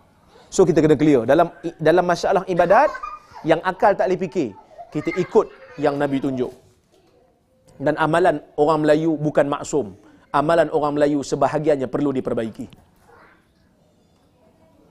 Ada seorang sahabat saya, dia pernah duduk di Dubai.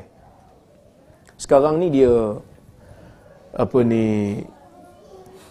balik Malaysia dia buka restoran apa semua. Dia terlibat dengan masjid salah satu negeri entah berantah di Malaysia. Dia baik dengan nazir masjid. Dia buat perubahan. Dia kata sunnahnya kita baca Al-Kahfi malam Jumaat. So kita ubah lah. ubah baca surah Kahfi. Dalam Kahfi ni ada hadis kan? Tuan-tuan sepatutnya ahli sunnah wal jamaah kena endorse tak benda ni? Kena endorse lah benda sunnah. Ahli sunnah mempertahankan sunnah. Ahli sunnah mengamalkan sunnah. Ahli sunnah bela sunnah. Ahli sunnah galak orang amal sunnah. Baru nama ahli sunnah. Kalau asyik bela bid'ah, bukan ahli sunnah, ahli bid'ah lah. Ni ada orang ahli sunnah. Mengaku ahli sunnah. Tapi tak ada sunnah pun yang dia promosi. Balik-balik bid'ah hasanah. Balik-balik bid'ah hasanah. Mana ahli sunnah? Okey. Dia pun buat uh, bacaan surah kahfi malam Jumaat. Bila buat bacaan surah kahfi? Tak berapa lama lepas tu. Kan? Tak berapa lama lepas tu, masjid dia pun di hijack. terus pentadbiran agama negeri, ambil masjid tu bawah negeri, terus ubah dia. Dia pun kena buang tanpa jawatan. Nampak? Di mana yang kata ahli sunnah? Benda ni sunnah. Kita nak jawab apa depan Nabi? Aku suruh kau membaca surah kafi. Yang kau halang orang baca surah kafi ni pasal apa?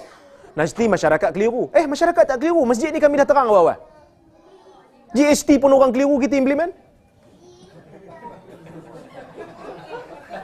Betul tak? Orang keliru dulu mula-mula kan? Implement. Dan Alhamdulillah makin lama makin faham. Sunnah lagi mudah nak nak nak jelaskan pada orang. Kalau semua ustaz bersatu membela sunnah, kita tak bergaduh. Tapi masalah ada sebahagian ustaz yang nak menjadi pembela kepada amalan masyarakat. Ini yang menjadi masalah. Ni yang jadi pecah belah ni. Bahkan perkataan Wahabi itu sendiri pun ustaz yang bawa. Orang awam tak tahu. Istilah Wahabi melainkan ustaz bawa dulu. Betul? Yang orang tahu ni wasabi je. Ha, makan apa? Ha, makan sushi dia tahulah wasabi. Wahabi ni saya tak tahu. Ustaz bagi tahu kat saya Wahabi ni geng sesat. Yang mana sesat Wahabi ni? Orang yang tak pakai mazhab. Siapa yang tak pakai mazhab tu Ustaz? Tu geng-geng yang pakai Quran Sunnah. Eh pakai Quran Sunnah ni mazhab pun pakai Quran Sunnah juga. Dia orang ni tak terikat dengan satu mazhab. Dia orang campur mazhab. Habis tu tadi tuan-tuan cuma pakai campur satu mazhab. Kalau campur mazhab itu Wahabi, kita semua adalah Wahabi. Welcome to the club. Nah? Jadi ah, itulah uh, apa ni komentar saya. Jadi tuan-tuan, kita jangan terlibatlah dengan orang-orang yang nak bergaduh. Jangan terlibat dengan orang yang menimbulkan kekacauan. Kita kita belajar. Patutnya makin belajar, makin beriman. Ni makin belajar, makin samsing. Orang tu sesat, orang ni kafir. Mula kafir. Oh, kafir saja. Lepas tu dia tuduh kita pula kafirkan dia. Nanti kita tak pernah kafirkan orang. Siapa yang dengar kuliah saya? Tuan-tuan tengok, beribu kuliah saya dekat YouTube. Scene dia banyak. Ada yang 37 ribu. Bahkan dalam masalah RUU 355, 100 ribu view. Glamour saya. Kan? Kena kecam ada jugalah kan. Tapi nak katanya saya tak pernah kapirkan orang secara ta'yin. Saya tak pernah kata, hang kapir. Saya tak kata. Saya kata siapa yang buat benda ni tanpa alasan dia tahu benda ni haram, mungkin dia jadi kafir. Beradablah. Ha, beradablah dan kita berbeza dalam keadaan yang harmoni. Hormat orang lain, hormat bidang masing-masing. Ada orang bidang syariah, ada orang bidang fiqh, ada orang bidang sorry, ada orang bidang hadis, ada orang bidang akidah. Hormat pandangan.